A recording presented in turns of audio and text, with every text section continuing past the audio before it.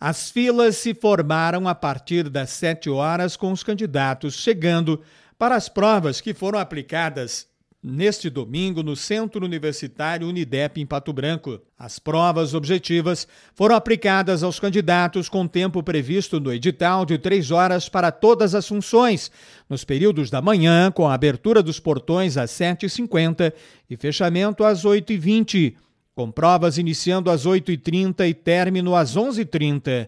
Na parte da tarde, a abertura dos portões foi às 13h30, com fechamento às 14 horas, e início das provas às 14h10, com término às 17h10.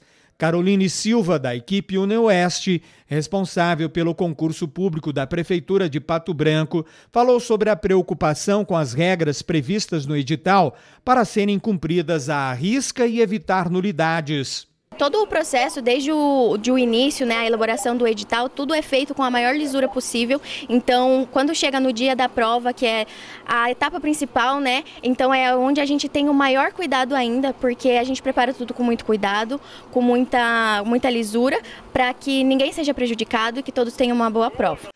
Uma curiosidade: a função com maior número em relação ao candidato vaga foi a de assistente administrativo, com 721 inscritos.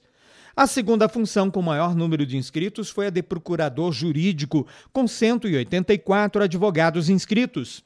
Rubia da Silva foi uma das candidatas à função de assistente administrativo. Espero passar, né? É uma das funções, inclusive, com o maior número de candidatos. Sim, 721, eu já dei uma olhada. A concorrência está grande. Você preparou bem? Sim. Gilberto Monteiro veio de Curitiba para tentar uma das vagas para a função de radiologista. Preparou-se para as provas? Bastante, vamos ver. Agora vamos ver se a cabeça funciona agora, né? Sabe quantos candidatos se inscreveram na sua função? Se eu não estou enganado, são 70 candidatos. É uma disputa é bacana. Grande, né? é. Vim lá de Curitiba ainda. Boa sorte aí nas provas. Obrigadão.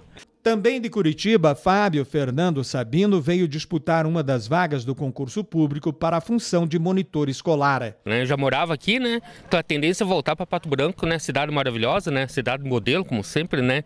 Aqui é um espetáculo de cidade, então vou tentar voltar aí, passar no concurso.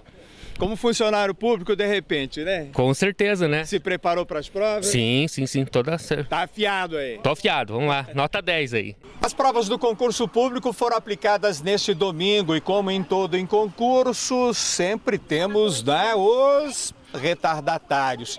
E o primeiro desafio desse pessoal é fazer aí uma maratona, né? Vamos lá, pessoal, vamos lá. Faltando dois minutinhos para fechar os portões, eles têm que virar maratonistas. É o primeiro desafio do concurso público. Mais de 4.100 candidatos disputando as vagas para se tornarem servidores públicos da Prefeitura Municipal de Pato Branco. Olha só, quanta gente chegando atrasado. Para alguns, o sonho de se tornar funcionário público perdeu para o relógio.